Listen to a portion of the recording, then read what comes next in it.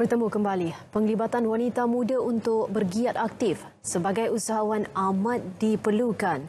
Pelbagai inisiatif seperti Geran Pemadanan Change Upgrade Product, CUP dan program Geran Pemadanan High Impact Product HIP disediakan. Ketua Setiausaha Kementerian Pertanian dan Industri Makanan, Datuk Haslina Abdul Hamid berkata, kerajaan Johor menggalakkan dan mengukuhkan aktiviti penanaman nanas dalam kalangan wanita di negeri Johor.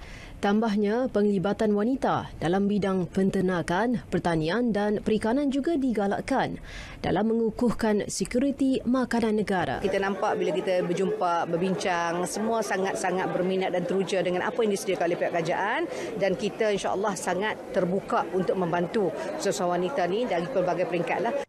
Beliau ditemui pemberita selepas merasmikan penutup seminar usahawan wanita nanas di Johor Bahru. Seramai 150 peserta wanita menghadiri seminar tersebut.